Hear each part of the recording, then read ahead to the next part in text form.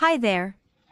Welcome to our tutorial on how to use our awesome remote control lawnmower. In this video, we'll cover everything you need to get started, from charging the battery to mowing your lawn like a pro. Let's dive in. First things first, before using the machine, make sure to charge the battery fully. Here's the charging port, so you can plug it in and let it charge up. Next, when you receive the machine, the emergency stop button will be in the closed position due to safety concerns. Simply twist the arrow to start the button. To get started, turn on the power switch on the remote control. Then turn on the power switch on the machine. Let's move this baby around now. Using the remote control, you can go forward, backward, left, and right with ease. It's super simple.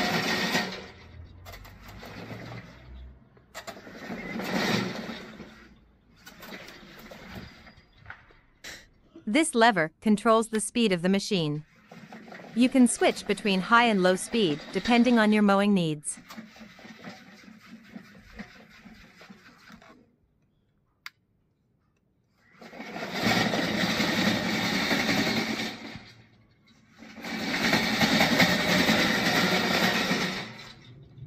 Use this lever to set the cruise control.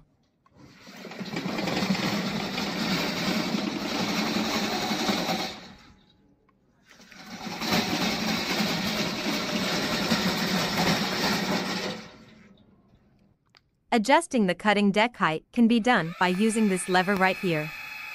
It makes it easy to customize your mowing experience.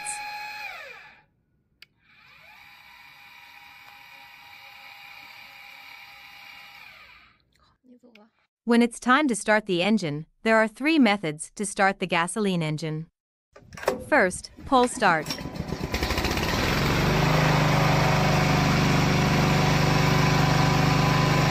Use the control panel to turn off the engine. Next method.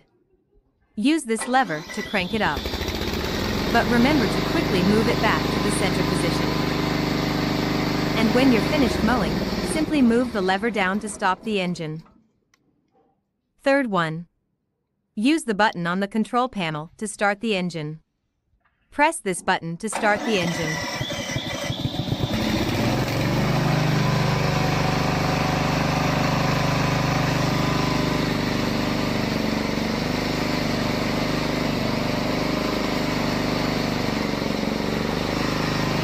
OK, press this button to stop the engine.